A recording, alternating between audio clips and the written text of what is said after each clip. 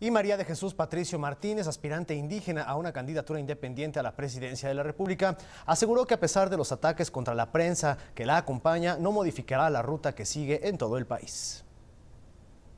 Para María de Jesús Patricio Martínez, el asalto contra periodistas independientes que cubren su recorrido por el país es una agresión a toda su caravana y al movimiento de pueblos originales. Entrevistada en Paracho, Marichuy precisa no haberse dado cuenta en el instante mismo del ataque, porque las víctimas iban en la retaguardia del convoy. Y pues sí, nosotros lo consideramos que es una agresión hacia nuestros pueblos, pues, porque pues nosotros somos la presencia de esos pueblos que vamos caminando a todas las regiones y bueno, los periodistas pues también tienen ese derecho de, también dar su, su, palabra de esta manera y el hecho de que les hayan ver despojando de su herramienta de trabajo, pues es una agresión este, también ante esta organización que vamos buscando desde abajo. La aspirante presidencial dijo que pese al asalto contra los reporteros, quienes la siguen prácticamente a todos lados, no modificará su agenda, aunque sí tomará algunas medidas de seguridad.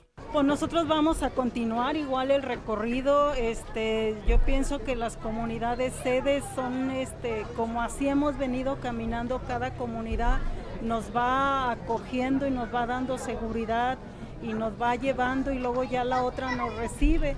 Pues yo creo que eh, vamos a tomar un poquito más de, de medidas, pero creo que, que los problemas están por todos lados.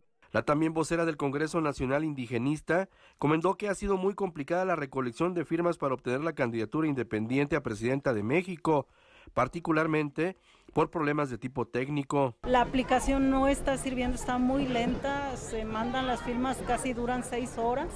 Eh, hay lugares, regiones, casi en todas, que están apartadas donde no hay señal, que tienen que levantar las firmas y buscar un lugar donde haya señal para que se manden. Ha habido también algunos, algunas agresiones en contra de los que están recolectando firmas, sobre todo en México, Veracruz, nos han manifestado que han recibido agresiones por parte de la policía. Los reporteros asaltados la tarde-noche del domingo ya presentaron su denuncia ante el Ministerio Público y aclararon que no son europeos como se había difundido en un principio, sino originarios de Jalisco, Ciudad de México y Estado de México.